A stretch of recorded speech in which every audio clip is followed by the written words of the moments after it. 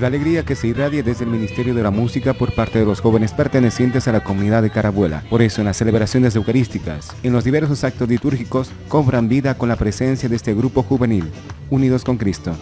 Cuando éramos jóvenes éramos partícipes en la iglesia, pero como ya unos otros casados, entrando a matrimonio, se siguieron perdiendo, pero ahora como nosotros también cuando es casado la fe no se acaba, ahora otra vez renacemos un, grupito para ayudar en, en las quehaceres de la iglesia. Entre los servicios pastorales que lleva a cabo este grupo de jóvenes unidos con Cristo están la animación de la Santa Misa en la capilla de la comunidad de Carabuela,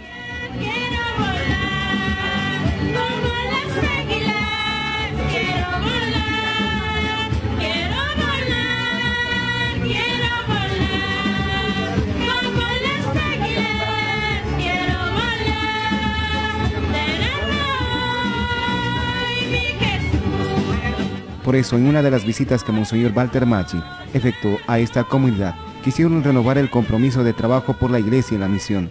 Y que la Virgen Santísima, Madre de la Iglesia y Madre nuestra, sea su amparo, su protección, su fortaleza y su esperanza. Por mi parte me alegro y toda la comunidad le acogemos a nuestros hermanos y todos tenemos que servir juntos eh, al Señor. El Señor nos quiere que estemos juntos, unidos más que todo, eh, para Cristo y para servir a Cristo para que vengan, acudan los jóvenes, que no vayan mal camino y los mayores más se despierten y acudan a la iglesia, que, que ya que puedan ya avanzar más por Dios, que no pierda el camino de Dios.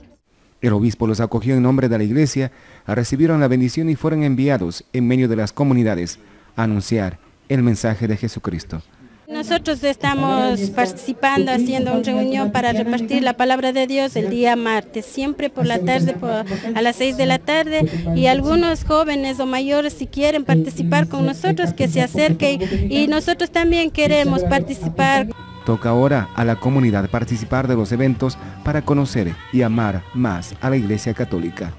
Sí, porque a los católicos nos conoce que los que toman son católicos, los que no toman son evangélicos.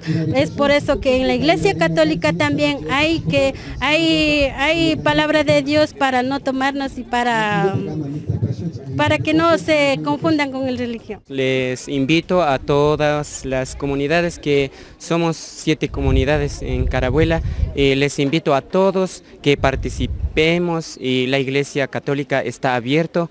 Con cámaras de Alex Godoy, Germánico Guamán Prisma Informativo.